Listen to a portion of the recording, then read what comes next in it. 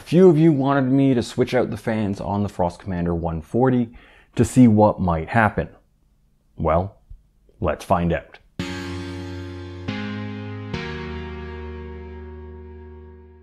What's up everyone, Erik here and welcome to Hardware for Gamers.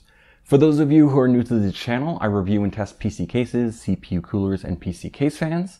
If you end up liking this video, please remember to hit that like button and subscribe to the channel because it really does help a lot. Also, if you really like my channel and all the testing I do, then please consider becoming a patron. Doing so will give me more freedom to make videos like this one. Now, if you haven't seen my full review of the Thermalright Frost Commander 140, you might want to check that out. I'll have it linked along the top and down in the description. But simply put, I thought it was a great CPU cooler at a great price. So before going any further, I wanted to be very clear. I do not recommend anyone buying a CPU cooler with the intentions of switching out the stock fans. Doing so is pretty much just a waste of money, either for the heatsink or on the fans. What I'm doing here is more of just messing around to see what might happen. Now, what I've done is run eight sets of tests using my 150 watt CPU cooler test and also taken the DBA of those eight sets of tests. First, I ran both the stock fans to compare it against my original testing. Then I tested just the D14X. Then I tested just the C12 Pro. Once those were done, I tested the Thermalright B12 Extreme, the Arctic P14 PWM, then two Arctic P12 PWM PSTs, and finally I tested the Noctua A15 in both dual and single fan configurations. However, because of the odd shape of the A15, I did have to rotate the fans to get them to fit on the Frost Commander, so something to keep in mind when looking at the chart. Now before getting onto the chart, just so everyone's on the same page, you do have to remember dB is logarithmic, so the higher the number, the more difference there is between those numbers. So the difference between 35 to 36 is less than the difference between 43 and 44. Clear as mud? Good. So starting off with the new full speed stock test, it does match up with my original full speed stock test that I did a few weeks ago.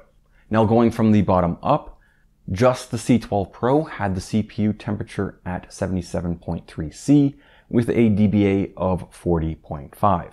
A single A15 had the CPU's average temperature at 77.2 C with a DBA of 38.4. The Arctic P14 had a similar CPU temperature, that being 77.1 C, but the DBA was only 34.7. When using two Arctic P12s, the average CPU temperature was at 75.9 C with a DBA of 34.3. Then with just the D14X, the average CPU temperature was at 75.4 C, but the DBA was at 43.4. The two A15s had the average CPU temperature at 75.3 with a DBA of 38. And finally, the beast that is the B12 Extreme or Extreme had the average CPU temperature at 73.7 C, but with a massive DBA of 47.7. So what did we learn from these tests? We learned that the stock fans are all in all pretty good when used together, with higher wattage loads.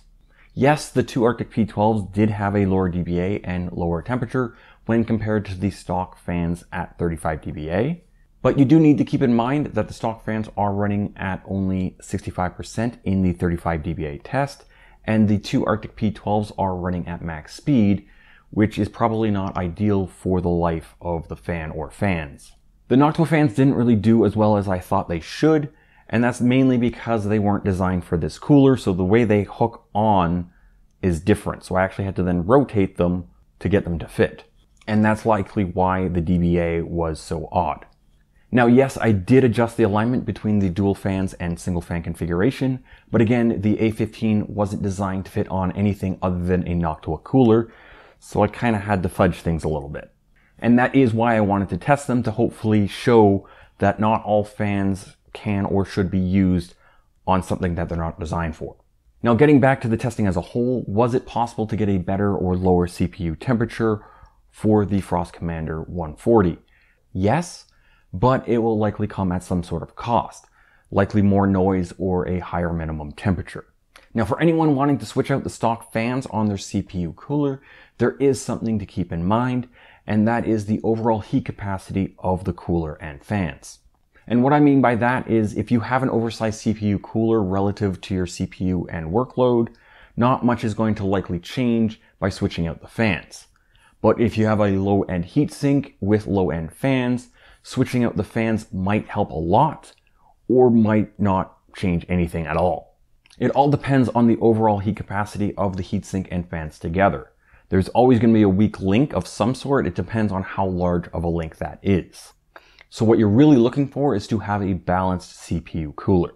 And I guess that's all I have to say for now. So if you like this video, please give it a thumbs up. And if you're still watching and you haven't already, please hit that subscribe button and the bell icon so you get notified whenever I drop a new video. You can also support the channel directly via Patreon. A link is in the description. There is also the HFG Discord server. It is completely free to join. All you have to do is agree to the server rules and you get access to all the charts that I have in my videos. You might want to uh, check out these videos here. They should be along the same lines of what you just watched. And as always, thank you very much for watching and see you next time.